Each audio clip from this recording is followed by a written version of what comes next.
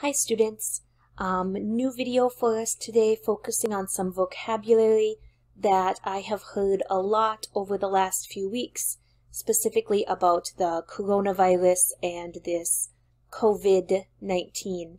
Um, my hope is that this vocabulary is helpful to you. Um, some of the vocabulary is funny, and I hope you will get a small laugh out of a little bit and some of the vocabulary is more serious and all of this vocabulary I think will be helpful for you during this situation. So the first thing for us to talk about is this phrase COVID-19.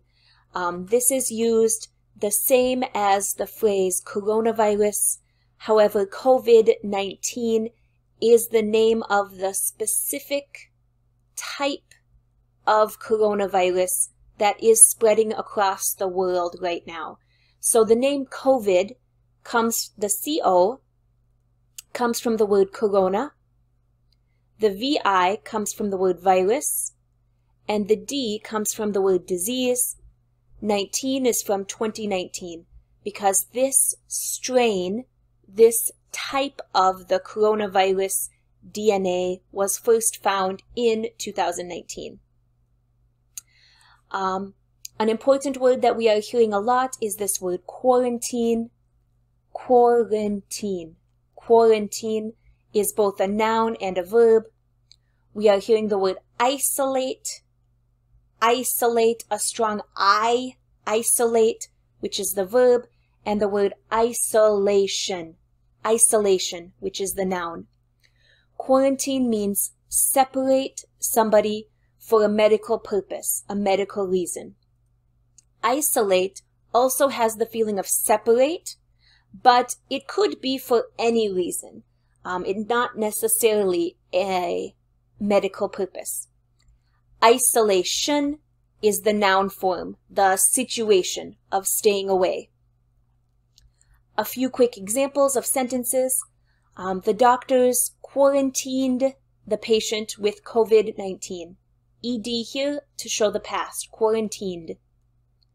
There is a quarantine in the city of New York. Here the noun. There is noun, situation. We are practicing self-isolation, noun form, self-isolation. The people are isolating themselves.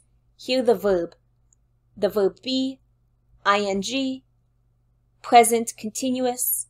The people are isolating themselves to prevent the spread of the virus.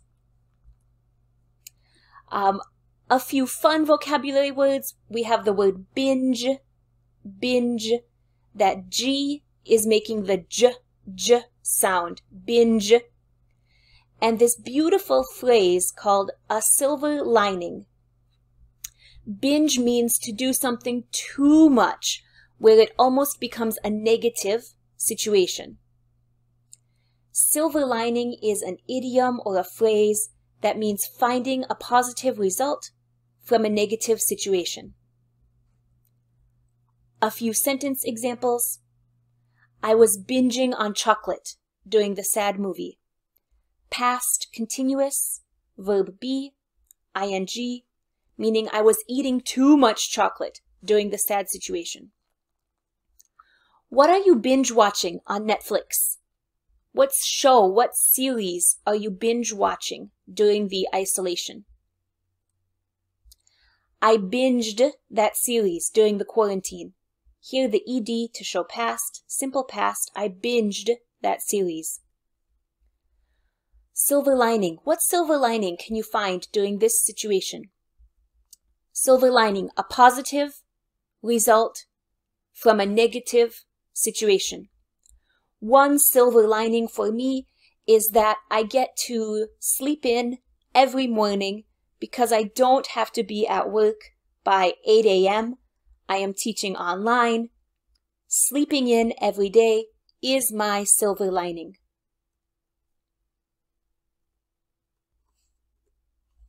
Three additional important words are the word outbreak, outbreak, epidemic, epidemic, and pandemic. Pandemic. Outbreak, epidemic, pandemic. All three of these words are nouns. They are all discussing the spread of an illness in an area. Each word is larger. Outbreak is a small event where illness is spreading in a small area. Epidemic is a larger event where the illness is spreading across a larger area. The word pandemic means multiple countries. Outbreak becomes larger, it becomes epidemic, which becomes larger and becomes pandemic. This does not have any result, though, of how strong the virus is or how serious the virus is. Um, this just means the quantity or the number of people affected. For example, an outbreak of Ebola is a lot more serious of influenza. A pandemic of influenza is spreading across multiple countries, but most people will become healthy again. An outbreak of Ebola is maybe a small area, but Ebola is a more serious disease more people will die from. So outbreak becomes larger, epidemic becomes larger, pandemic, but it's not connected to how strong or serious the virus is. A few quick sentence examples. Um, this outbreak of COVID-19 began in the Wuhan province of China. After a few weeks, it became an epidemic because a large number of people were infected. Soon the virus spread across multiple countries, and the WHO, World Health Organization, declared it a pandemic. Important vocabulary for jobs during this time. We have this phrase of laid off and we use it like a passive to get, to be laid off. As a noun, a layoff, and a verb phrase to file unemployment. To get laid off means that you lose your job, but not because you are a bad employee. You lose your job because the company closes, the factory closes, the restaurant closes, um, if you work on a farm, maybe you get laid off during the winter. My brother works construction. He gets laid off every winter. A layoff is the noun form, again, the situation of people losing jobs because the company is closing or there is no more work available. To file unemployment means to give your application to the government to receive unemployment money. A few sentence examples for this vocabulary. Many companies will lay off their employees during this time. The employees will get laid off. There was a layoff at the factory because the demand for the product decreased. I will file unemployment because I was laid off by my company. A really great phrase to add during this time is this adverb, lightly. Many of us have heard the word serious and seriously, but the word light, we often think about light from the sun, light from the sky, or the heaviness, the weight, the mass the kilograms of an object, light or heavy.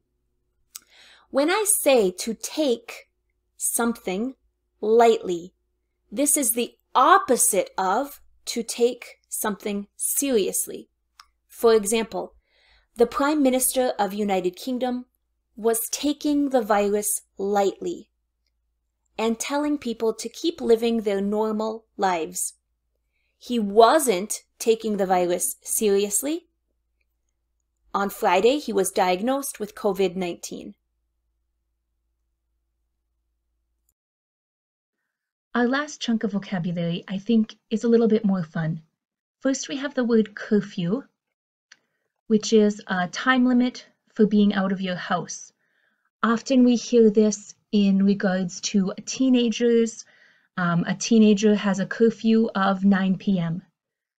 Recently, we heard this in some cities and states implementing or instituting, starting a curfew, a time when people should be back into their homes. These bottom three are especially fun idioms for this period of isolation. This phrase, to go stir crazy, and then the phrase cabin fever, which functions as a noun. Both of these have a similar feeling of feeling crazy because you are doing nothing. For example, there was a huge blizzard. We were all stuck in the house for one week. We couldn't leave the house because of the snow. I went stir crazy. My children are going stir crazy because we can only play in the house and in the backyard. We can't go to visit our friends. I have cabin fever. Again, imagine a cabin in the woods surrounded by snow. You are unable to leave this cabin. You are stuck in this small cabin and you start to feel crazy. She has cabin fever. The last phrase, to be cooped up, has a feeling like to be stuck someplace, unable to leave. To be cooped up. I was cooped up last week. This actually comes from the word coop, which means a house for a chicken, a chicken coop. Um, there's a few pictures here of a coop on the side. So the feeling that the chicken has in this tiny house limited, stuck, unable to fly, move, the feeling of right now that we are having in our houses. We are cooped up at home. A few sentence examples to show these phrases and idioms. The city passed a curfew requiring all people to be in their homes by 6 p.m. I was going stir crazy the verb go, stir crazy. I was going stir crazy during the isolation. My kids have cabin fever. We were cooped up in the house during a terrible blizzard and we started to go stir crazy. The last piece that I want to address is this phrase state of emergency. So state of emergency is a phrase to describe a specific law passed by a leader of an area, usually the mayor of a city, the governor of a state, the president of the country. And this opens up some larger powers that then the leader can use. For instance, to stop or limit travel, um, to require all people to stay in their homes, um, to close all restaurants. During a huge flood, the mayor of the city declared a state of emergency, which allowed him to access some extra money from the city um, savings. The governor declared a state of emergency because of the COVID 19 pandemic. This allowed him to close all restaurants, bars, gyms, um, gathering places. So these are the new vocabulary words that we have practiced during this video. The phrase COVID-19, quarantine, isolate, isolation, binge, these four beautiful idioms, a silver lining, to go stir crazy, cabin fever, to be cooped up, these three phrases, these three nouns for illness of outbreak, epidemic, pandemic, remember those are growing larger, to get laid off, a layoff, to file unemployment, to take something lightly, and then this last phrase, a state of emergency. Do you have any other vocabulary that you have seen um, in regards to the COVID-19, the coronavirus pandemic, that you are not sure about the vocabulary? Um, leave them in the comments. Let me know if you have any questions and um, take this vocabulary, put it into sentences. Leave the sentences in the comments under the video and I would be very happy to give you some feedback on your sentences. Until next time, students, bye.